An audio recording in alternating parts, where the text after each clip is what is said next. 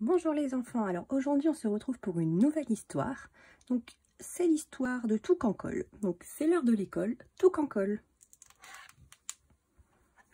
À la girafe, au long guibole, collé. Au singe-roi de la cabriole, collé. Au lion qui se croit drôle, collé. Au croco qui est dans les champs batifoles, collé. Au chameau qui sans cesse rigole, collé. Au rhino qui fait toujours le mariole, collé. À l'éléphant qui de sa chaise dégringole, collé.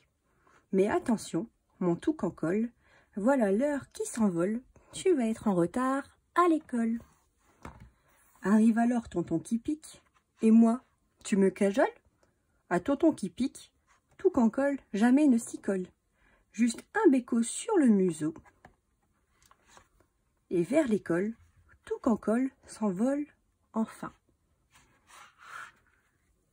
Alors, là, il y, a des, il y des mots un petit peu difficiles pour vous. Donc, qu'est-ce que ça veut dire batifole Donc, ça vient de batifoler. Alors, ça veut dire qu'il fait un peu, un peu le foufou. Donc, le mot mariole aussi, qui veut dire à peu près la même chose, à peu près le foufou, qui fait le foufou aussi. Donc, on a aussi le mot dégringoler. Donc, dégringole, ça veut dire qu'il tombe. Donc là, on le voit bien, c'est l'éléphant qui tombe de sa chaise. Donc, on a aussi le mot cajole, qui vient de cajoler, qui veut dire faire un câlin. Et on a le mot béco, qui veut dire un bisou. Donc on le voit, tout quand il fait un petit bisou au tonton qui pique. Et voilà. C'est la fin de l'histoire. J'espère que vous l'avez aimée. Donc elle était courte.